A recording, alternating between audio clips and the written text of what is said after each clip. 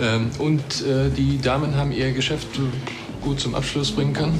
Ach ja, wir sind ganz froh, diesen dicken Brocken aus dem Weg geräumt zu haben. Mhm, um jetzt endlich ein bisschen zu relaxen. Einfach mal alles ablegen. Alles ablegen. Ja. Sandra, würden Sie uns bitte entschuldigen? Ah, verstehe. Sie wollen schon mal vorgehen aufs Zimmer, ja?